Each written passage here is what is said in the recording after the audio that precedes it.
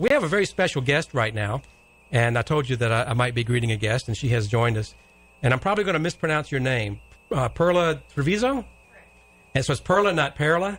Either I, way. I had a friend uh, uh, when I was in San Antonio who insisted on Perla as the as the pronunciation, and uh, a good friend of mine back in those days. So I ma- imagine I'm, I must have correct, pronounced it correctly at least sometimes.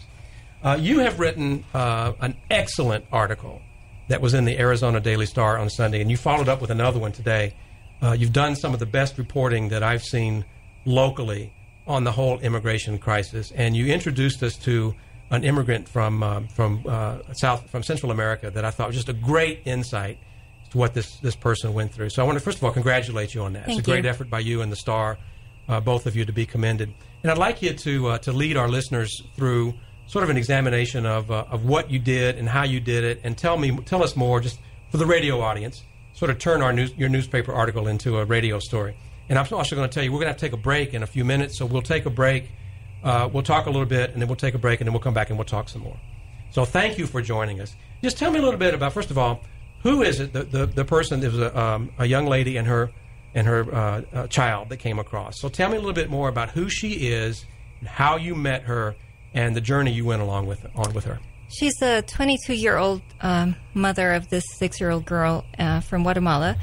And she's one of the women who had been dropped off at the Greyhound bus station by Customs and Border Protection. Right. So basically, because there's no place to hold family units, as they call them, they're releasing them with, with a notice to appear before an immigration official at the at their final destination, Right. So- usually so where you they met have her at the relatives. station. So I met her at the Yeah. station. Um, what was interesting about this family is that it really showed how it is a intergenerational thing.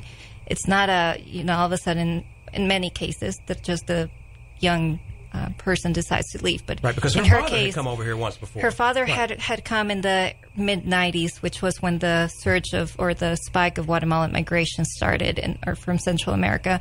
Then her brother left last year, and she left this year. So really, with through her family, we were able to tell the story about, or through her case, we were able to tell a story of a family Right. migrating. So she decided to come up here and with her six-year-old child. And she's what, 22? She's now? 22. So she had a child when she was 16. Um, did who did, did you mention the father? I don't recall whether I read that or not. We mentioned it in the photo caption. There's Okay, so many yeah. things that that, Right, that right. you're not able to include, so we Yeah. we complemented that with the photos. So she was never the the father. Um, never stayed with her. They Right. were never a couple. So she was a single mother, and her parents helped raise and the that's kid. a story that we've heard a little bit of because I know I had Steve Kozachik on last week, and he was saying that he's hearing the story too. A lot of them, you know, they were maybe they were married, maybe they weren't, but now they're being abandoned. Um, now, what was the uh, specific thing that caused her to decide? And you, you do mention it in the article, so just uh, recap it for the radio audience, if you would.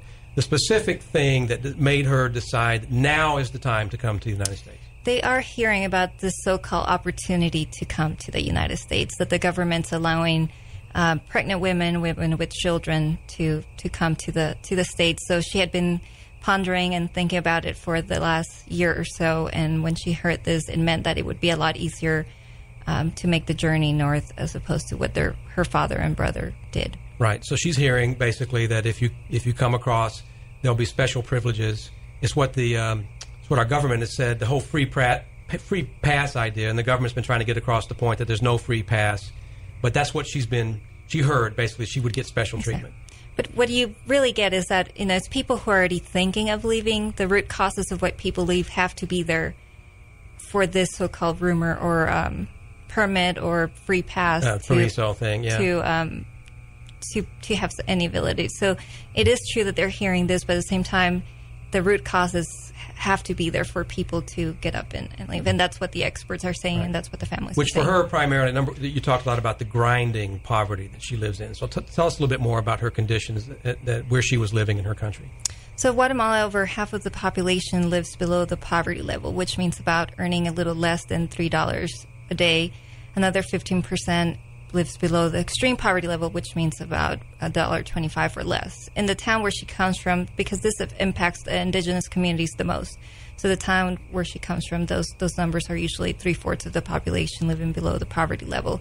And she talks about how you know when she was a kid before her fa- father migrated, they lived in a house with you know out of mud and straw roof um, with no stoves. Her tea set was old sardine cans and rocks. So that just kind of shows the, mm. the poverty that some of these people are living through and the fact that there are no jobs, especially for young people. So you have a very young country, but no formal employment to to help them get out of those poverty levels. And even the education, I was reading, I, I think it was your article, that if, if you want to go to high school in a lot of those countries, you've got to you've got to pay fees that, that common people just can't afford. And so there's also transportation costs. So you know, many of you live in the in the rural village. There are not going to be any schools, especially um, higher than primary school. So many of them have to travel as well, um, long distances for that. So you also mentioned another proximate cause uh, about a uh, there's there's no question that violence has been increasing in those countries, and a lot of it's been directed at at women. So there was an incident not long before she left that made her also feel that okay, this is just getting out of hand. Exactly. Yeah, they they talk about finding a, a mutilated body of a of a woman um, just dumped on, in the forest. So they they were saying that uh, within the last year or so, that town has seen an increasing um, level of violence, and especially violence is affecting uh, younger kids in the capital in Guatemala City. Um, some departments, which is the equivalent of our states, um, are, are more troublesome or have more problems with violence than others. Right. But that's uh, definitely a contributing factor. All right. So we're going to take a quick break to hear some commercial messages, and then we'll come back and talk more. And what I want to address when we come back is uh, the trip.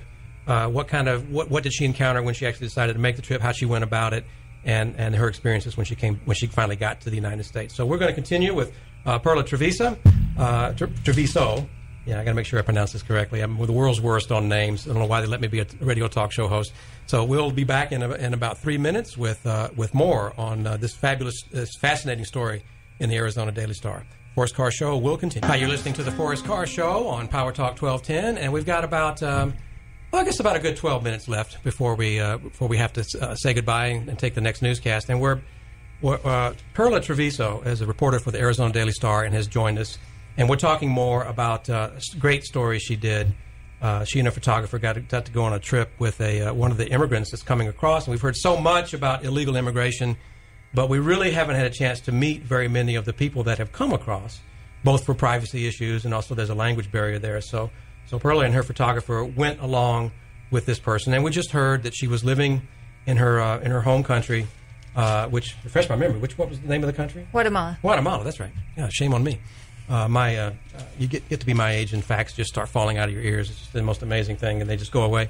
But she's living in her home country. She's in grinding poverty. She's a single mother, 22 years 22 years old with a six year old child, living in grinding poverty. Violence is rising all around her. A woman's uh, body's found in the forest, and then she starts to hear this rumor that uh, she can come to the United States and she and her child will get special treatment because uh, of of a uh, peculiarity or specificities in the United States law, so she decides now is the time. So, having made the decision, now's the time. She's also has a father who doesn't want to see her go, uh, who spent some time in the United States himself, trying to save up enough money to get a nice house and those kinds of things in his country. And uh, so, first thing she's got to do is have a conversation with him about should I go. So, tell me how that conversation went.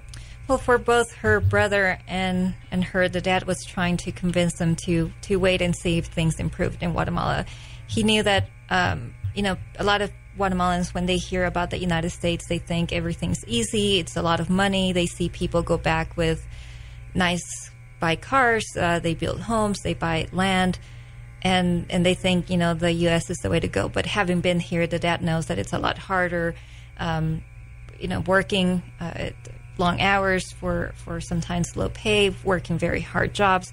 So he was trying to convince them to to stay and not go. But at the same time, um, this particular family is very religious. So he says, if it's God's will, then so be it. Um, and so he he was resigned, and, and he just wished them well. And his dream is that they go back to Guatemala being someone and, and with money saved so they can have their own house and their own land.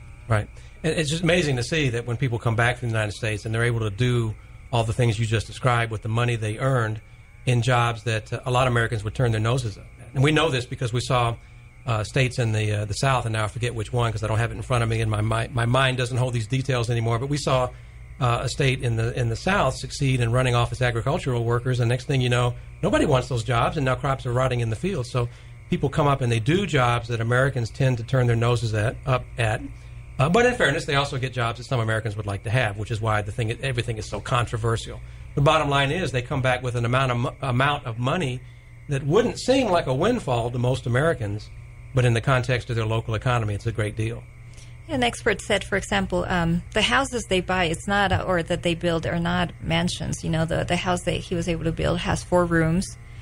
Um, there's no living rooms. There's no multiple bathrooms, um, but dining rooms. But it's it's cinder block as opposed to mud, or or sometimes they use corrugated metal. But you know that house, if he was maybe in the states overall eight years, it would have taken him 30 years to save enough money to build exactly the same house, according to experts I spoke with. Wow. Okay, so he doesn't want his daughter to come, but she decides she's got to do it. So how did she go about it? What's it? Uh, she uh, she did not ride La, Be- La, Bestia, which we've been hearing a lot about. She didn't ride the Death Train. Uh, she did something else. So tell us about how yeah. she arranged for the trip and, and what it cost her to do this. So normally what happens, so depending on the, the guide or smuggler or pollero or coyote that they use, they either go on a bus or the train. Uh, from what I hear and from interviews with, with smugglers and, and, and the press in Guatemala, depends on how much you pay and how much money you have. Right. So the smuggler or the guy is there to ensure kind of safe passage. So she got on a bus in, in southern Mexico, essentially went all the way uh, straight to to Sonora to El So first Sonora. she's got to cross the border into Mexico. Yes, but she lives, She lives right at the border right. of Mexico, and right. it's a very porous border. Um, from all the news reports and, and from accounts of the migrants themselves, it's not hard. And migration of Guatemalans to Mexico, seasonal migration, has been going on for decades. Right. So that's not uncommon to see Guatemalans cross back and forth to Mexico. So she, they took a bus to to Chiapas, to the southern state of Mexico, um, the father and mother and grandparents accompanied them to to make sure that they were fine. Now, then, at this point, let me just clarify: yeah. has she made contact with a, a, smuggler yet? At this point, yet or not? Yeah, most of them use a guide from the beginning. Right, so uh, they've got a guide, so they from, know where to so go. They get on the bus. By that point, she's got a guide. Yes, or, or, or at least they've given instructions of where to go. Um, right. And how much is she expecting this to cost her at this point? So they they paid. us. so from from what she said, they, she only needed like forty five hundred pesos for the trip to Mexico, and then where they charge is more the crossing to the United States. So she said they, they charge them another couple thousand dollars. From what I hear, they're giving kind of discounts even to unaccompanied minors or women because they don't have to take them. So a lot of the journey is crossing the border, making sure that you don't get detected by Border Patrol, and then finding a ride and and kind of like the car that's going to take you to the interior of the country. so that's where that, and they don't need that in this right, case okay. because they're turning themselves in. So the okay. cost in her case was lower than what has been reported. So she gets on the the next bus and continues northward to the Mexican border with the United States. Exactly. What happens there? So she gets to Altar Sonora, which is a, a town. Um, it's a popular staging area for border, border crossers uh, here close to Tucson on the on the Mexican side. It's a town that it's greatly controlled by cartels and, and smugglers. So she gets there. They take her to a house. So basically, they have little rooms that they rent for the immigrants before they cross to the U.S. I think you described it as a, a flop. A flop house. house. Yeah, they're you know you walk in and it's yeah it's you just see a lot of rooms. Um, and and multiple beds, either bunks bed or bunks bed or, or, or bigger beds um, inside the room. So they, they fit in as many as they can, and it's kind of like the waiting time mm-hmm. before they cross. So they, they get to the border. Um, the the the smuggler walks them right, I guess, from what she describes him to the line between Mexico and the U.S.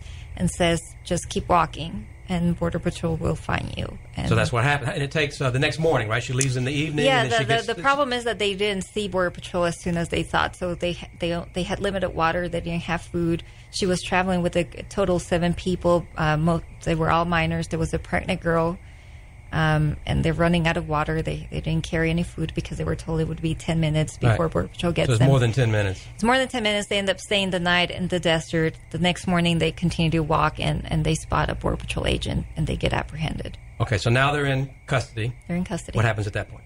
They're taken to the Tucson Border Patrol station here on Swan and Golf They're, that's where they're processed. Let me pause for a second. Tell me again where they crossed. Where did they cross? They crossed by Lukeville. Lukeville. Okay, so, so they're in the they're in the Tucson sector, and they get brought to to the to the station. They get processed. They they spend a night there. Um, while they get their paperwork, and the following day they're dropped off at the Greyhound bus station. Now, at this point, uh, Border Patrol is. Um, that we know that they're going to release her on her own recognizance, and they've been doing this because they're just so overwhelmed.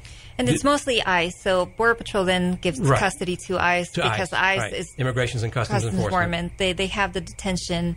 Uh, they deal with the detention of the of the immigrants. Now, do they work with her to get her on the phone or do whatever she needs to do? And she's coming. She's coming to see. She's going to join a brother, right? So, what do, do they do anything at all to help her arrange for him to send her the money she needs for the ticket and those sorts of things, or do they leave her to sink or swim on her own as far as that's no, concerned? they did. Uh, at the beginning, when, when we start seeing women dropped off from Texas, so there was a search in Texas. They start flying women and children to the Tucson sector to get processed and then dropped off at the bus station. There was criticism that Border Patrol and ICE were just leaving them without access to phone, without knowing where to get their bus ticket or contact Right. family members. But with her, uh, there, she had a yellow sticky note with a confirmation number, meaning that someone in Border Patrol made contact with the brother so he could send money and purchase her bus tickets. Okay, so they helped her. They helped her make sure she had those communications, but they're not buying the bus ticket for No. her. The brother's doing that. The family members Right. have to send them. now, the where does the brother live? Delaware. Now let's fast forward to Delaware because we're going to running out of time. We've got about two minutes left. Uh, she gets on the bus. She goes to Delaware, and she meets up with her brother, who's living in a and not you know palatial accommodations by any means. It's like a it's a small trailer. It's right? a mobile home. Yeah. Yeah. So she gets there, and now she's got to figure out what to do next. She's been she's got the orders to report to immigration authorities once she gets there, and uh, where you sort of leave the story is she's got to figure out if she wants to do that. So what's going through her mind? What would you say is going through her mind right now? She knows that that's what she has to do, and there are consequences to not showing up. You can become a, a fugitive, and, and any chance you would, might have had of staying, you lose that by not showing up. But at the same time, there's this big weight that they have that, you know, they've this is kind of all they they work for, and, and they borrow money to get all the way to to where they get. And if they get deported, not only do they get do they go back without fulfilling their goals and meeting their dreams, but now they, they owe money that they have no way of paying back. And, this, and we know this happens because people get caught, and they, they've uh, not only spent every dime that they have on uh, on the passage, but uh, maybe they owe some. And the, the thought is they've come to the country, they're going to be able to earn a wage and pay this money back. But if they don't, if they get deported, now they're in they're in a worse hole than they were before. That's a big problem right now in places like Guatemala because a lot of people are signing um, the deeds to their homes or their land, so that's all they own, and and people are losing their properties or their land, and that's kind of what your grandfather had and left to your dad, and your dad is leaving to you, and so it is it, it is being um, it is a, a huge problem right now in some communities. So she and we can, by extension, think you know know that there are tens of thousands like her, basically have rolled the dice and are betting everything on the generosity of this great nation. yeah, and it's a very complex issue. There's no simple solution, you know, on, on both sides. I want to congratulate you on a, a fabulous, a fabulous article, and I'm very glad to know that the Star um, uh, it would let you take you and your photographer take this trip and do this story, which was incredibly insightful. And I want to thank you for joining us on the on the show. Thank you for having me. It's really, really kind of you to physically come here so we could have good quality on the interview. I will um, post this interview if my recording at home uh, worked out, and I'm trying to do this. Uh, I will post this portion of the of the show on uh, my blog, the Bashful Bloviator blog. It should be there by later today. Thank you for joining us on the Forrest Carr Show. Uh, it's uh, time for the news, and we will see you again at the same place tomorrow.